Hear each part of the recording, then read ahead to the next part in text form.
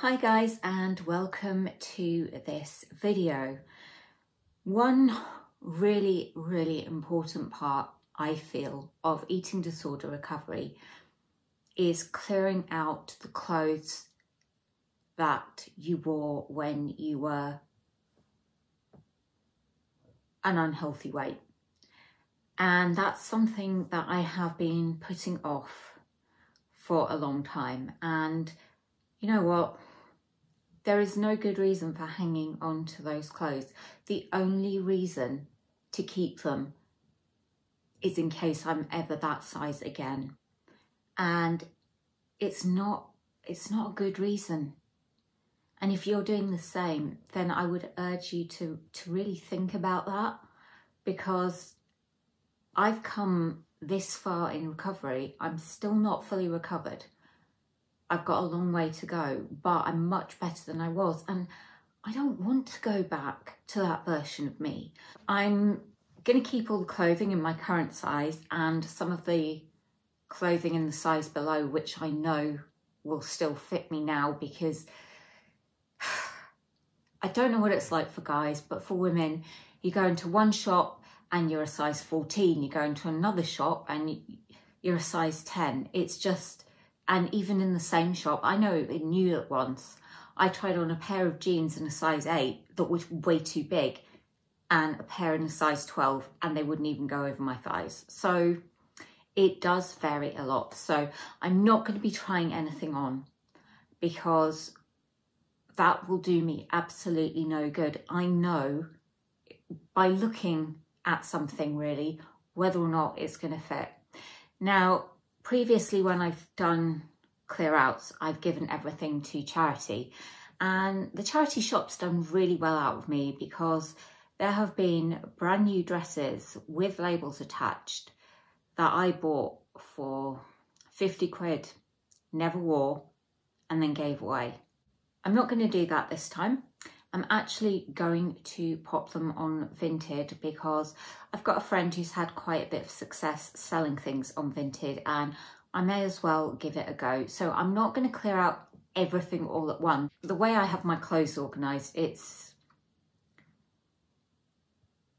it's ridiculous really, but I use boxes to store a lot of things. So I think I'm going to go through my box of pinafore dresses today and the ones that don't fit will be going on Vinted and that will leave a bit of space, which I must not fill with new clothes because I have too many clothes as it is. So I'm going to get that done. And the reason that I'm filming it is because I've talked in the past on my podcast and on this channel about it being something that needs to be done and then I still haven't gone and done it. So I guess in a way it's kind of a proof that I'm I'm doing it. And the way I'm going to do it is I'm not even going to think about it. I'm not going to hold on to something thinking, do I really want to to give this away? I'm not going to give the eating disorder voice a chance to get into my brain and convince me that I should hold on to things. I'm I'm just going to do it. So if you are in that same position that I've been stuck in probably for at least a year of having clothes that are too small but not wanting to part with them because there is a part of you that hopes you might fit into them again. Really think hard about that and whether or not it's worth just getting rid of those clothes. If you do, if you do get that thin again, then you can always get new ones. But do you really want to go back to that? Right. Enough talking. To the bedroom.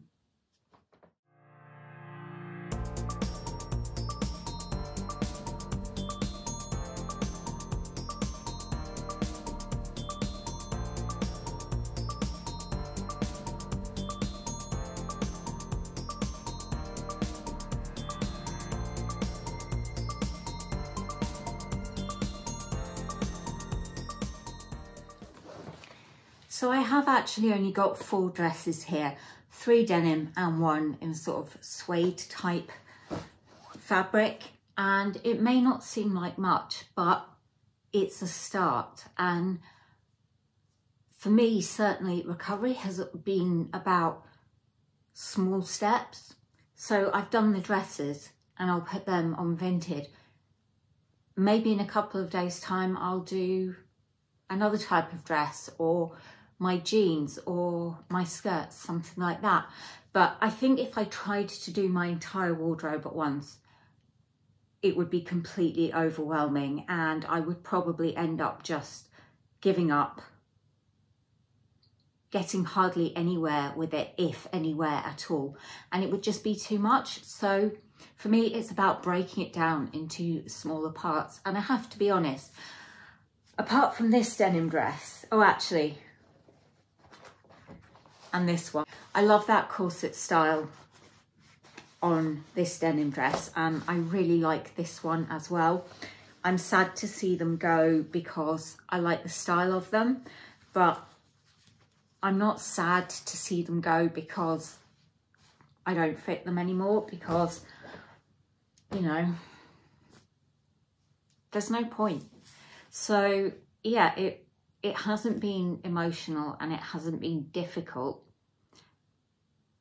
but I'm only at the very beginning of it and it, it may become more difficult. But I guess the point of this is just to, you know, show you the realities of recovering from an eating disorder and things that I think a lot of people don't even think about.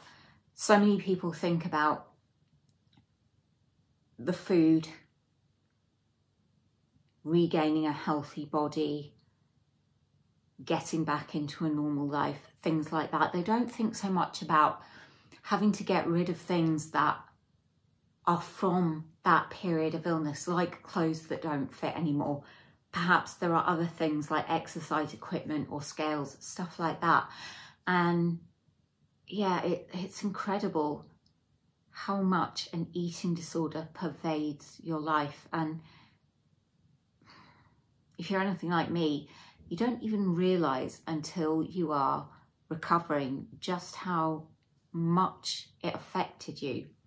But anyway, I have rambled enough, so I need my iPad, which I'm currently filming on, so that I can pop these on Vinted. Don't really expect them to sell, and if they don't, they will be going to a charity shop. They will not be going back into my closet.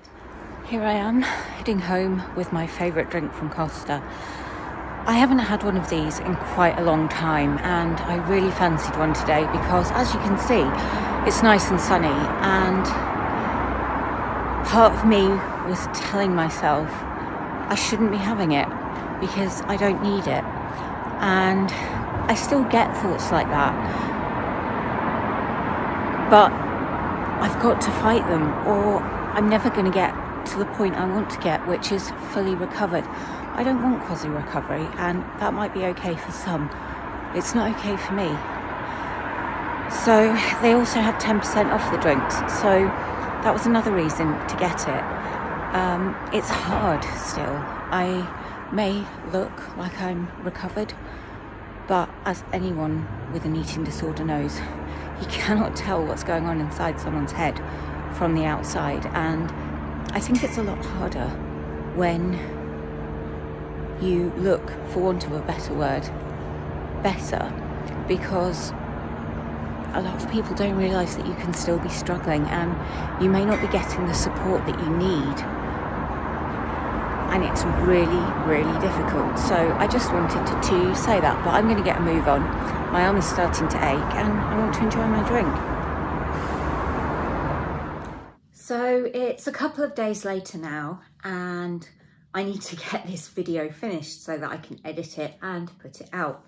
So I did put a Q&A box on my Instagram stories just to ask whether anyone had any questions they would like to ask me around the subject of coping with weight gain and coping with a changing body during the recovery process. And I'm actually really pleased that nobody did. I see that as being quite a positive thing because to me that means that either it's not something people are really struggling with, it's not at the forefront of anyone's mind, or it's something that they may be struggling with, but they're managing to cope with by themselves. It's not something they feel I could help with in any way. I'll be honest, it's something I personally find really, really hard, but it's not going to be that way for everyone. There will be things I struggle with that other people don't, and vice versa. The only response I did get was one to do with thin privilege and the fact that people may say that's something I have. Now, it's not really relevant to the topic of this video, but it is an important subject. I'm not recovered, so my body is not uh, yet where it would like to be. However, do I think I have thin privilege?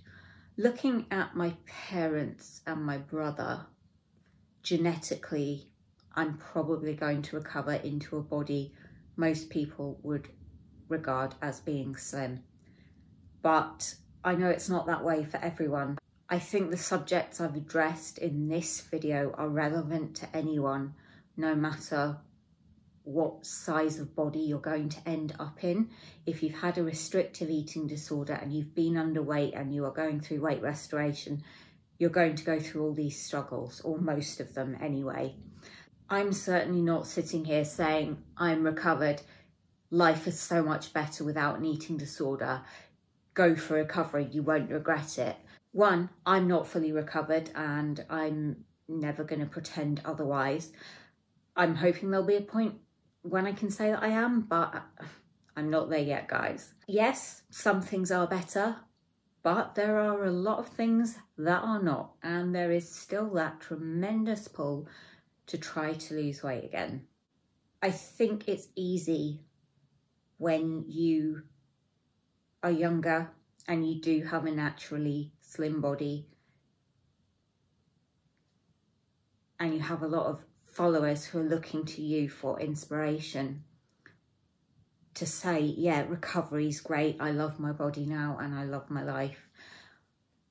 I am very niche because there doesn't seem to be a lot of interest in older adults going through recovery. And this is a topic that I'm kind of thinking I should maybe address on my podcast. But again, it's so niche, not many people ever listen to my podcast. So I'm not sure whether or not it's even worth me going there with that. But yeah, I guess I just want to make it clear that I'm not recovered. I'm still struggling and nothing is ever going to be wonderful because this is life. This is being a human. There's always going to be good and there's always going to be bad. And it's just about getting on with it and dealing with it as best you can. But anyway, I'm going to shut up now because the sun is shining and I want to make the most of it because it's not going to last. But thank you for watching. As ever, feel free to drop me a comment in the box below and I hope that you'll come back for the next video. Take care, guys. Bye.